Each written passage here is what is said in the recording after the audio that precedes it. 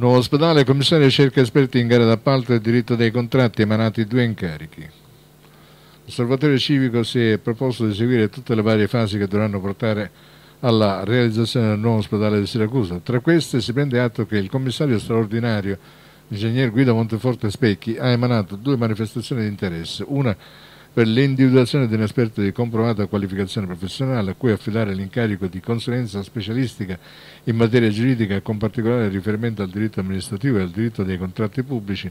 e di supporto allo staff della struttura commissariale straordinaria e l'altra per l'individuazione di un esperto di comprovata qualificazione professionale a cui affidare l'incarico di consulenza specialistica tecnica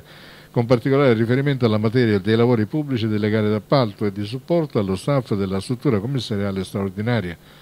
Il compenso stabilito per l'incarico è quantificato in 48.000 euro annui omnicomprensivi per ciascun esperto e si intende all'ordo degli oneri fiscali e previdenziali. Tutte le informazioni si possono reperire sul sito nos.ospedale.siracusa.it.